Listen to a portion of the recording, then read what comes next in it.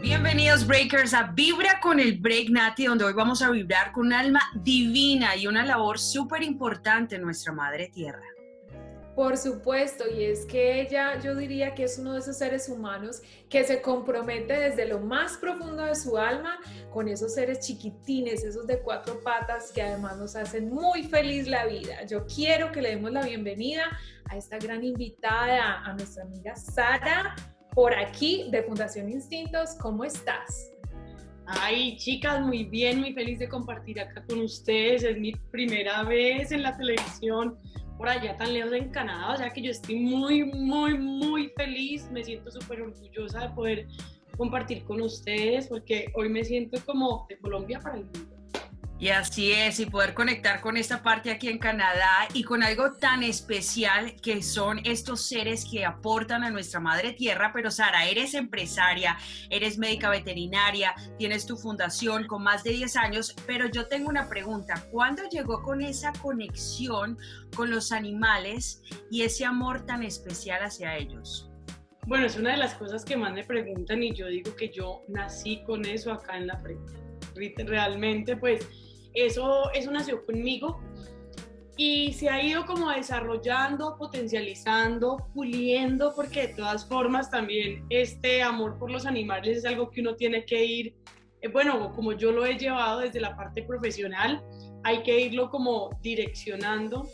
Y bueno, nací con él, pero de, de lo que nací a lo que soy hoy, creo que ha crecido exponencialmente.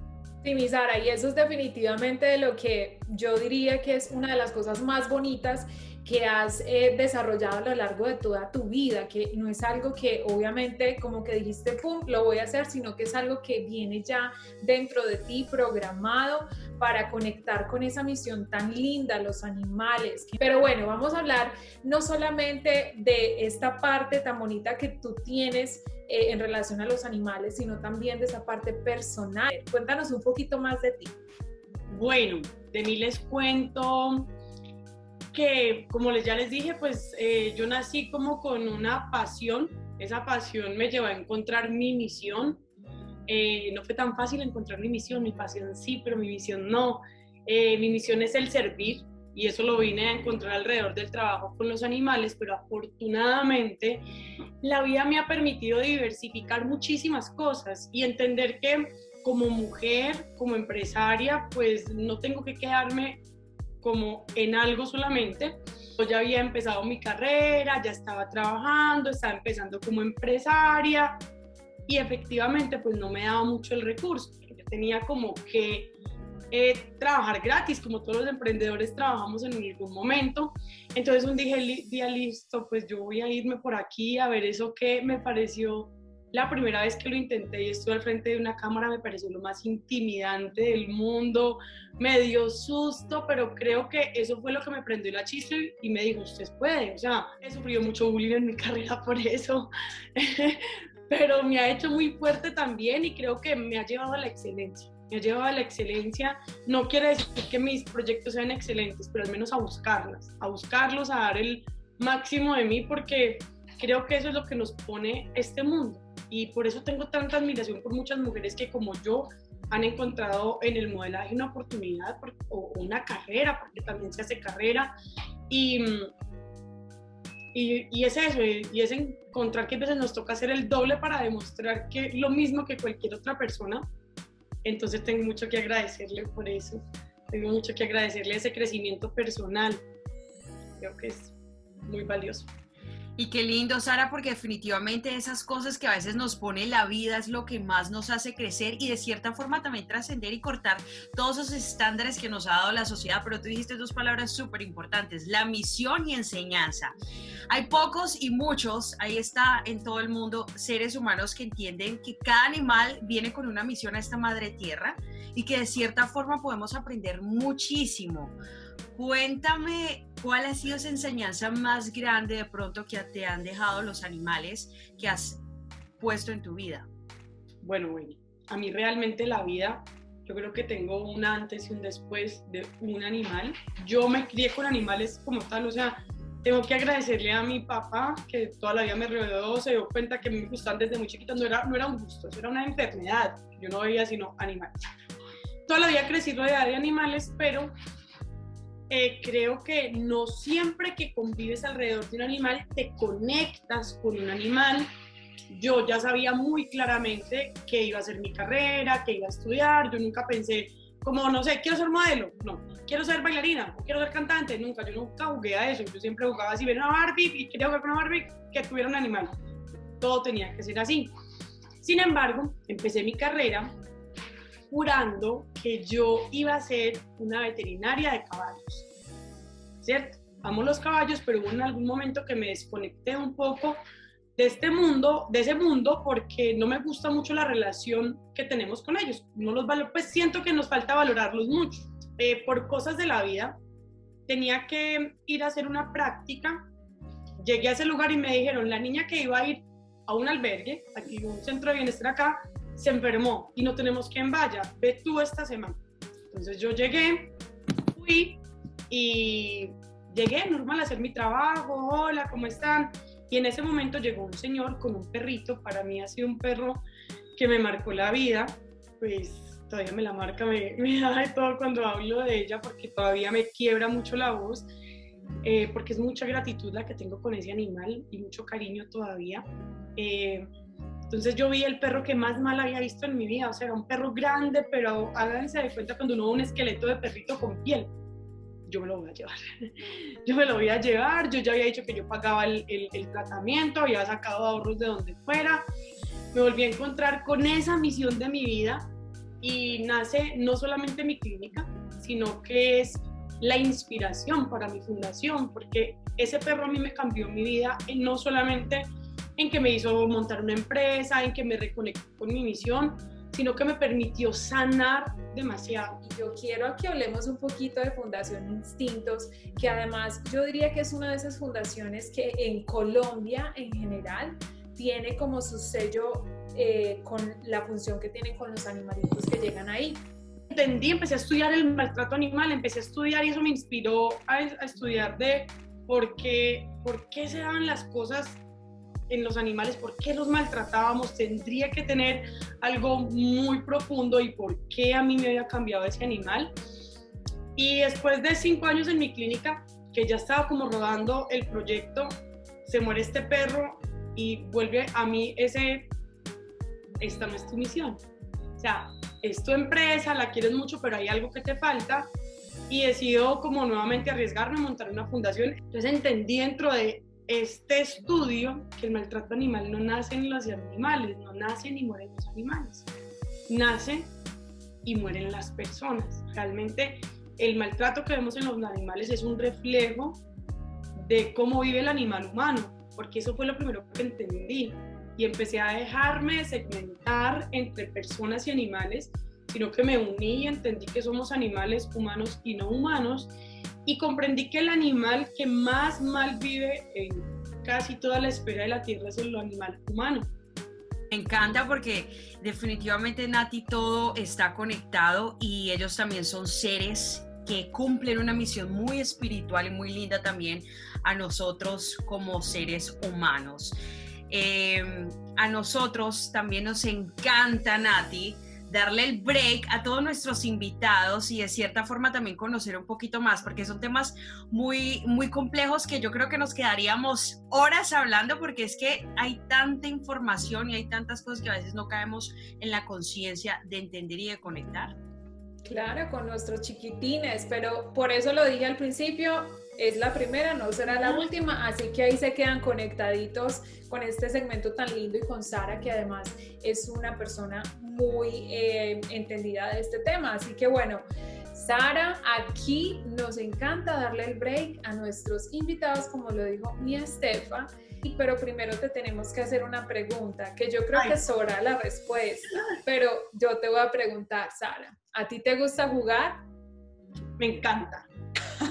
qué bueno, qué bueno porque te hemos, te hemos diseñado un jueguito en relación a todo lo que estamos hablando, ¿listo? Así que dale mi Estefa. Listo, el juego lo hemos llamado El Instinto según Sara, ¿listo? Ya pues que estamos hablando de Fundación Instintos y toda la cosa. Entonces, Según la fundación, según Sara, como profesional, teniendo en cuenta el comportamiento animal según las razas, ¿cuál aplica para las siguientes situaciones? Dale tú, Estefan. Bueno, este va para los hombres, especialmente aquí hay muchos de estos, Sara, especialmente que quieren ese animal para poder atraer. ¿Qué raza atrae la atención de tu alrededor? Les voy a contar algo muy curioso y es que cada vez veo más hombres con perros cute porque atraen las niñas. Les encanta. Al principio, por ejemplo, van mucho y me pasa exagerado y es que la niña quiere como un pomerania, un perro cute y al principio ellos dicen, yo no salgo con ese perro. Y muchos después, que son mis amigos, me dicen, yo ya salgo con el perro porque siempre que salgo con el perro, alguien me habla. Que quiere ese perro tan tierno, que le gusta tan rara. Entonces realmente eso es algo que llama mucho la atención, un perrito chiquito. Antes eran como los perros rudos, ahora un perro chiquito, tiernito, es irresistible para nosotros las mujeres. Y los perros con mucho estilo yo digo que los perros con estilo y únicos y criollitos siempre van a tener como ese clic en uno, pero sí, hombres les digo que perrito chiquitico atrae mujeres. Eso sí, mejor dicho. Bueno, ¿qué raza es recomendable para compartir con los niños? Ah, ok, me encanta. Bueno, resulta que acá tenemos algo bien importante y es que la relación de los niños y los perros tiene que ser muy mediada por un adulto porque podemos llegar a ser invasivos y tener muchos accidentes.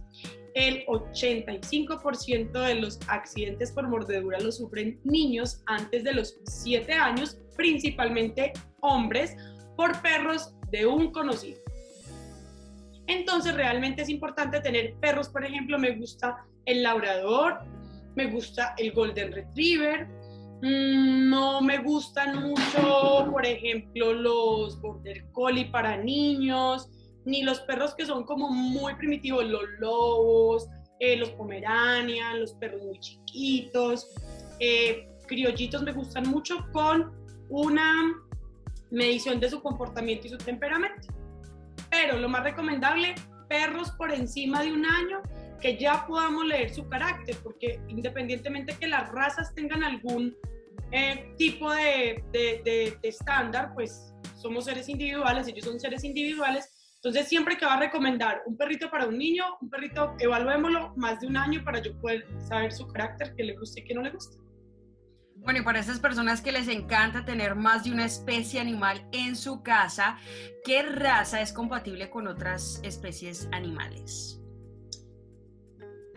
Bueno, más bien cuáles no, porque, a ver, depende mucho, pero por ejemplo, les voy a decir cuáles no, posiblemente los pastores alemanes no tienen mucha afinidad con gatos. Eh, todos los que son pastores tienen mayor dificultad para, para, rodearse de otros animales, pastor australiano, eh, también todos los que son como perros eh, que cuidan ovejas, entonces ideal que estos perros no estén con animales principalmente que se muevan mucho, los terriers, por ejemplo, son muy ratoneros, entonces, por ejemplo, no, no hurones o no hamsters. Em, también los terriers les gustan mucho las aves, entonces, por ejemplo, con gallinas o con granjas, tener mucho cuidado. Eh, realmente los labradores, golden, mm, ¿qué más les cuento?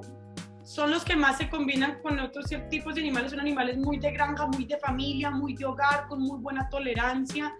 Eh, criollitos, vuelvo y le digo, depende de la personalidad, me encanta, pero más que tener con otros animales es entender que se puede hacer una socialización y una adaptación con calma, que toleren un gato no quiere decir que toleren todos los gatos, que toleren una gallina no quiere decir que toleren todas las gallinas, porque ellos aprenden a tolerar su círculo de convivencia.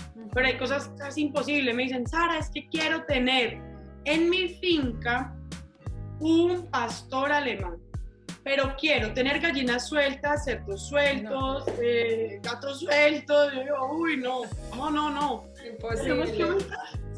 Entonces, por ejemplo, eso. Ok, nos queda supremamente clara esa parte. Bueno, ¿qué raza es la más adecuada para guiar o ayudar a personas me van a decir que soy fanática del labrador, pero no. Lo que pasa es que es de los perros más adiestrables y seleccionados genéticamente para este tipo de, servicios. No es, a ver, no es de gratis que cada vez que veamos, por ejemplo, un perro de servicio, en su gran mayoría sean labradores y es por el tipo de función que cumplieron en nuestra coevolución. Y pues hay ya líneas de perros por muchos años que se dedican a esto y, heredan el, temperamento del comportamiento. Entonces, definitivamente para mí la raza para, para trabajar o entrenar con perros eh, para servicio, que es el perro que te ayuda en algo específicamente, para mí es un labrador. Okay. Bueno, y ya para casi terminar, y yo creo que aquí, especialmente en Canadá, en esta parte, eh, les va a ayudar mucho esto. ¿Qué raza es recomendable para subir el ánimo de los dueños? Bueno, ahí sí no hay raza ni preferencia, son estilos de vida y compatibilidad. Porque, por ejemplo, tú eres una persona que le gusta hacer deporte al aire libre y me dices que quieres un bulldog inglés. Es decir, eso no te va a subir el ánimo, porque tú vas a estar frustrada todo el tiempo porque el perro tiene un golpe de calor, porque no le gusta salir, porque se te echa, porque...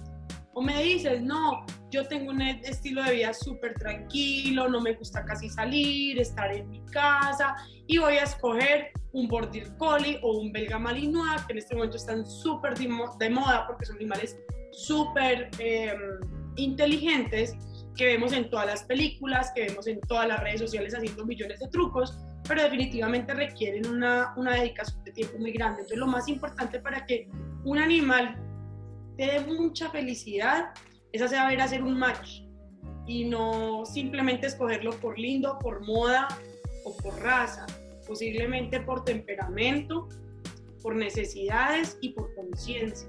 Que muchas veces no necesitamos un perro o no podemos tener un perro, podemos tener un gato, o simplemente podemos hacer otro tipo de actividades alrededor de animales.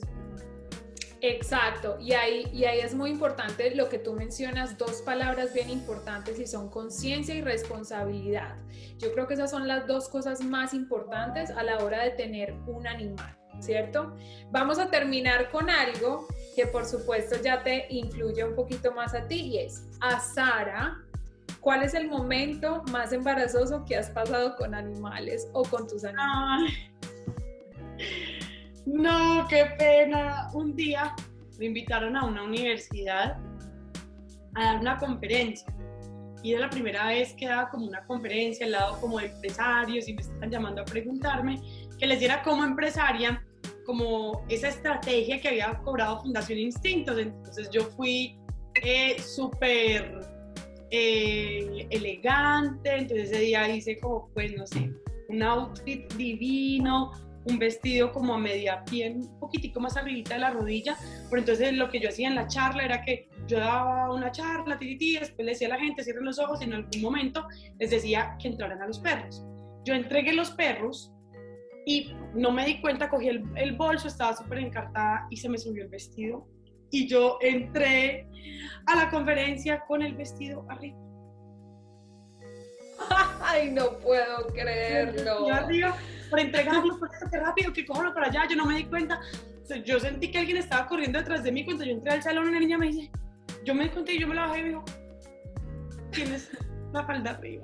Ya. Ok, bueno, pero, pero eso pasa, eso pasa y bueno, ya pasó y fue una experiencia pero tiene una justificación muy linda y es que, bueno, tiene que ver con animales y bueno, eso todo lo justifica, diría yo, de alguna manera, ¿verdad? Yo creo que lo disfrutaron y yo ah. creo que, pero pues... Los perros, los perros ladraron.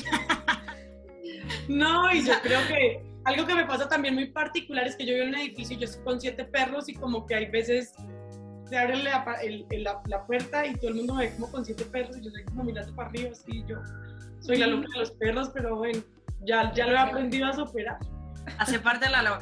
Oye, Sara Jaramillo, mil gracias por tomarte el break con nosotras aquí en Vibra con el Break y gracias por hacer esta labor tan bonita que aporta tanto a nuestra madre tierra. Fue un placer. Yo sé que te tendremos muchas veces más por aquí en Canadá. Por supuesto. Muchas gracias a ustedes, a William con el break. Yo definitivamente me siento honrada de poder estar acá, verte, me encanta. Te admiro, te quiero y me encanta todo lo que es. No, a ti, a ti de verdad, gracias por haber confiado en este espacio y porque por supuesto nos has dado como toda una, eh, diría yo, cátedra para entender un poquito más a esos cuatro patitas hermosas que nos, nos alegran la vida todo el tiempo. Así que de verdad, gracias por todo lo que también haces por la sociedad, por reincorporar a nuestros animalitos a una vida normal. Y bueno, por aquí te vamos a tener mucho más, por supuesto. También recordándoles a todos ellos que te pueden seguir en todas las redes sociales. ¿Cuáles son tus redes sociales? Mis redes sociales son Sara o sea, Sara V E, T, abreviación de veterinaria y una V al final. Sara Bet como TV. Y bueno, todos los que estuvieron por acá, que pudieron tener la oportunidad de hablar de sus perros o de sus animales, espero que hoy miren a su perro, su gato, su animal de compañía y le den un besito. En, están haciendo cosas maravillosas al interior de sus hogares, así que gracias a todos ellos. Y gracias a ti nuevamente, Nati, no nos podemos ir sin dejarles saber a ellos quiénes somos. Por supuesto que nosotras somos el, el